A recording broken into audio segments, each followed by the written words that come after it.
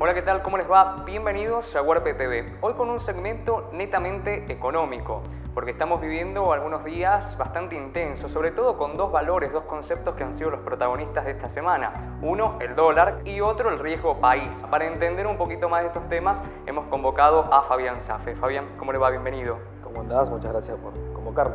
Hablamos del riesgo país.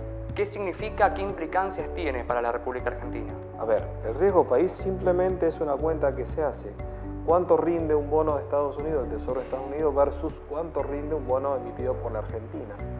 Cuando merma la confianza, los inversores se desprenden de esos bonos, los ofrecen, los venden a bajo precio.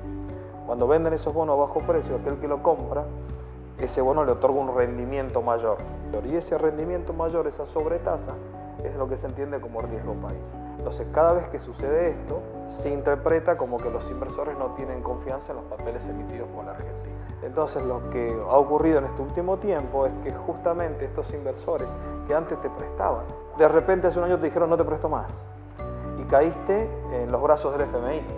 Fuiste a buscar el último prestamista, el prestamista de última instancia. Bueno, en esa defensa decía el gobierno, nosotros tenemos de respaldo al FMI Ahora el mercado puede confiar. Parece que esto no se ha dado. Y justamente lo que pasa es eso, estás bajo la tutela del FMI.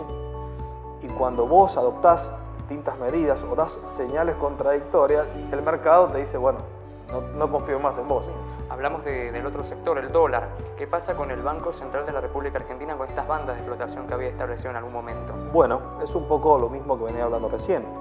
Eh, cuando caíste en brazos del FMI, cuando tuviste que recurrir al préstamo de ellos, del préstamo más importante de tu historia, ellos, bajo su tutela, pues digo que ahí está la tutela de ellos, te imponen reglas del juego. Te prestan dólares, pero te prestan dólares una vez que ya te endeudaste con el mercado voluntario.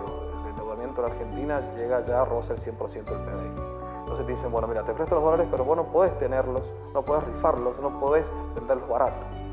Tenés que venderlos caros, tenés que devaluar, tenés que dejar que el libre juego de oferta y demanda pongan un valor de dólar tal que te permita estabilizarlo, generar dólares suficientes y tranquilizar, estabilizar tu, economía y volver al mercado voluntario.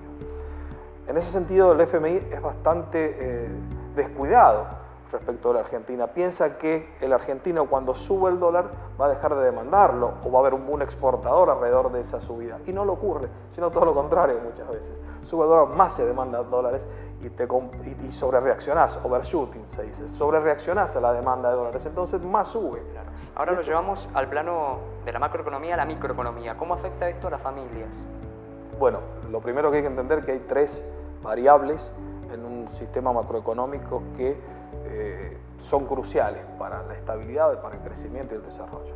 Tarifas, salarios, tipo de cambio. Sube el dólar, te suben las tarifas, te sube el combustible, te suben los precios y tu salario no sube. Entonces, lo primero que tiene que hacer una familia ante esta volatilidad y esta suba del dólar es refugiarse, adelantar consumo, no refinanciar tarjeta de crédito porque las tasas de interés están tan altas justamente para que el dólar no se transforme en el refugio de los ahorros del argentino. Entonces tasas altas implican que vos tengas plazo fijo y que no los pases a dólares, pero tasas altas implican que el banco, cuando te refinancien tu tarjeta, te cobre tasas altas. Y si tenés tus ahorros y tenés que cuidarlos, y bueno, hoy la alternativa, le diría hasta más sensata, sería tenerlos en dólares hasta ver más o menos cómo se estabiliza esta, esta volatilidad sabiendo incluso que esa conducta es perjudicial para la macro, porque si todos salimos a comprar dólares, el dólar va a subir, pero no te queda otra muchas veces. Entonces el argentino hay que explicarle muchas veces que aunque el comportamiento del colectivo genere un malestar, individualmente no te queda otra que respaldarte y asegurarte por lo menos que tus ahorros no pierdan poder adquisitivo. Si vos te llaman de la Casa Rosé y te dicen, Fabián, por favor, dame un consejo, ¿cómo salgo de todo esto? ¿Qué le recomendás al gobierno? Es una pregunta bastante difícil. Entonces, lo primero que hay que hacer es repensar el esquema eh, de apertura comercial y de liquidación de divisas de Argentina. Creo que si hay algo que tenemos que aprender de tanto el gobierno anterior como esto es que la Argentina debe tener una administración de divisas coherente y prudente. Segundo, renegociar la deuda con el FMI. Vas a tener que negociar la deuda. Entonces, empezar a ver cómo negociar esa deuda.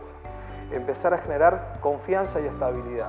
Tal vez eh, plantarse con un nuevo equipo económico será una solución para el, presidente.